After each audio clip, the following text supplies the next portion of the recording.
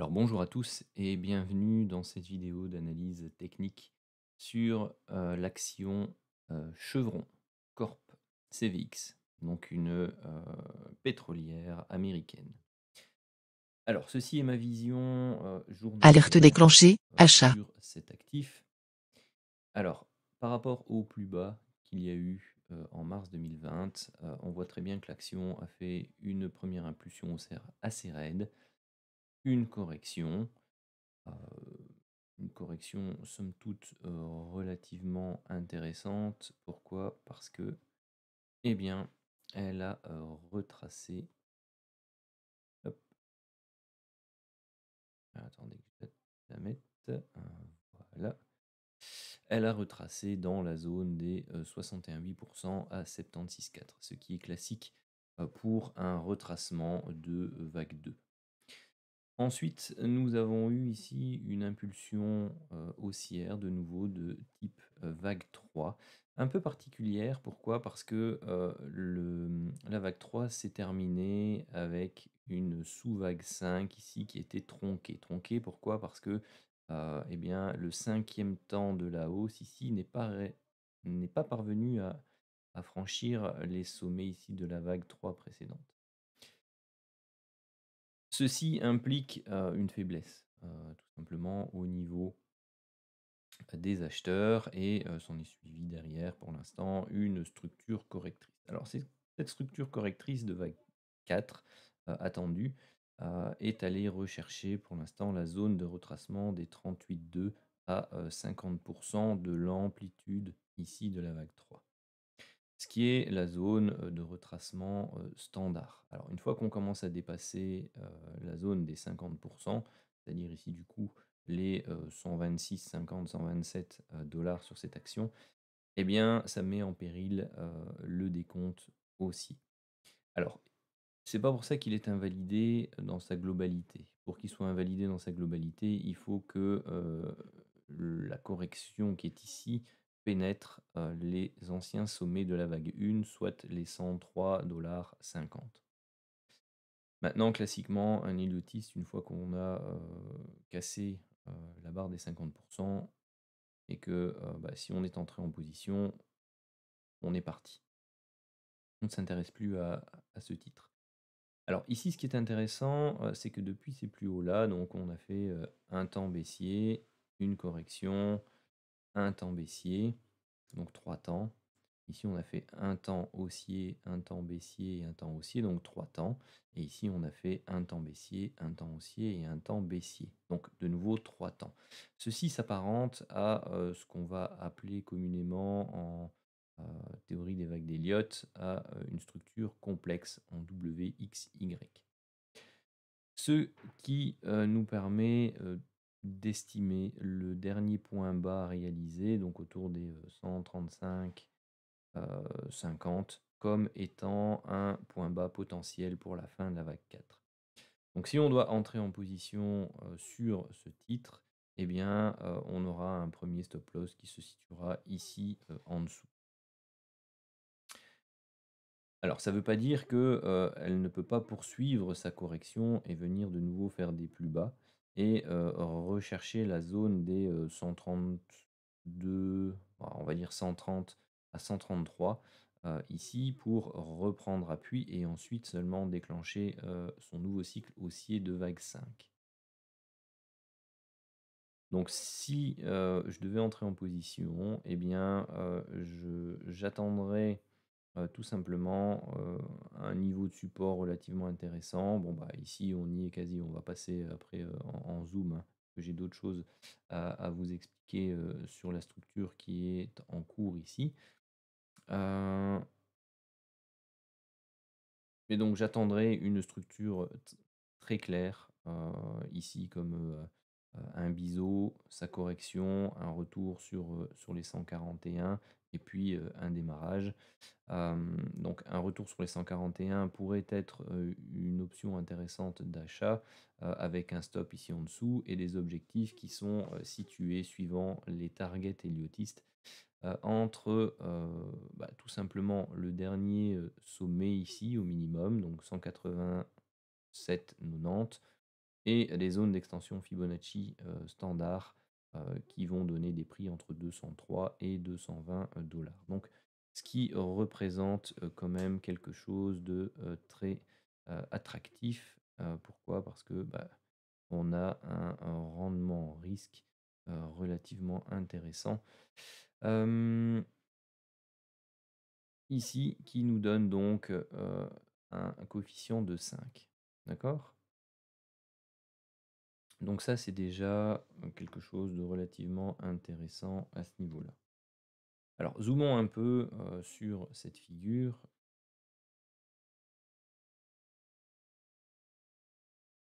Alors qu'est-ce qu'on peut observer, heu, pour l'instant? Eh bien qu'ici, on a eu 5 temps baissiers, donc 1-2-3-4 et 5. On a fait ici un mouvement haussier, sa correction et on a une figure qui peut s'apparenter ici à une épaule, tête, épaule inversée.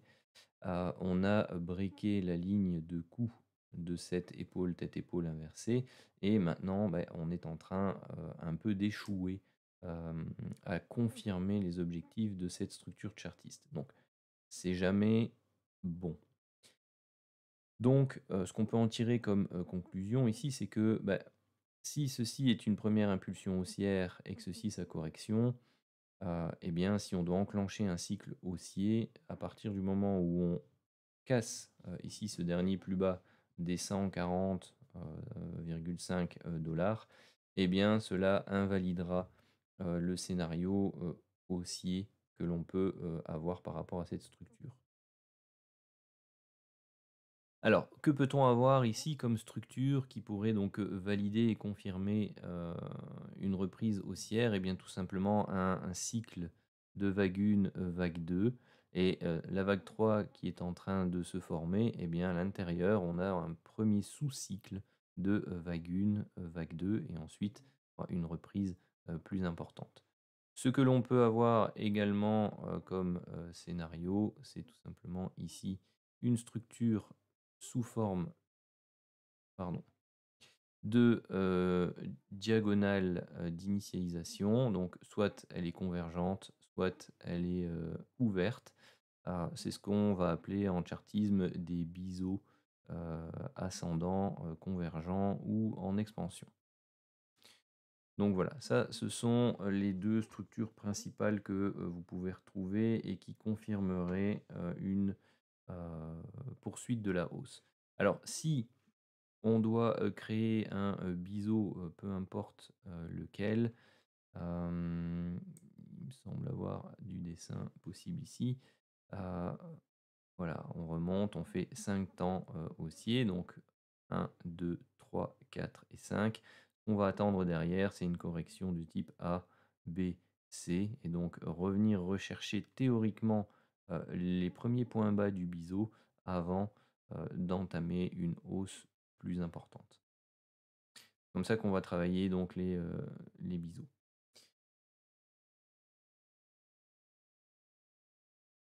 Maintenant si ceci ne devait pas être un biseau et bien on va, rechercher, des, des Alerte déclenchée, vente à découvert.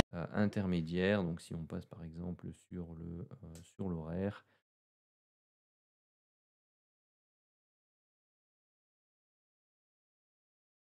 mmh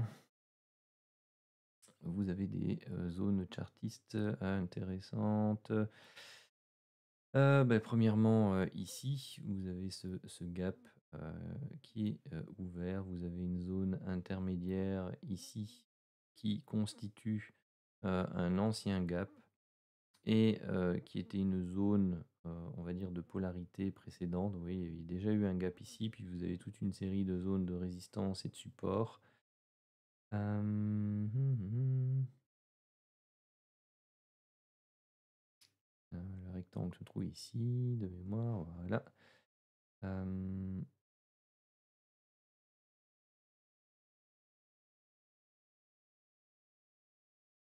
Voilà, voilà, ici vous avez une zone de, heu, de polarité qui a été travaillée par le marché. Elle représente très certainement quasi les 50 % de retracement de cette phase haussière-ci. D'accord? Donc, bon, heu, ceci peut être une sous-vague 1, une sous-vague 2, tout ceci une impulsion, heu, de sous-vague 3, ceci une structure de type flat et donc une sous-vague 3, sous-vague 4 et il nous reste peut-être donc une 5, heu, à travailler ici pour dire de lancer, eh bien, heu, les 2 structures dont je vous parlais, heu, précédemment. Maintenant si on vient à casser cette zone de manière très franche, ici et qu'ensuite on vient, casser cette invalidation ce niveau d'invalidia invalidation pardon des 140,7 et bien, ça remet en cause tout simplement la fin de la vague 4 ici et on attendra donc un nouveau plus bas.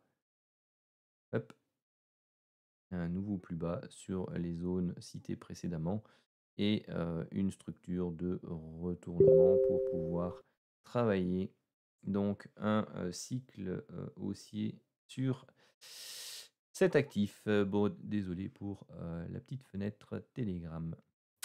Ceci clôture donc mon analyse sur, Chevron. Je vous remercie de m'avoir suivi. Surtout n'hésitez pas à vous abonner à la chaîne, à, mettre des commentaires sous la vidéo. Vous pouvez rejoindre également la newsletter qui est complètement gratuite, vous avez le lien en description et rejoindre le canal Telegram pour plus d'interactivité, sur le, trading. Sur ce, je vous souhaite à tous une excellente journée.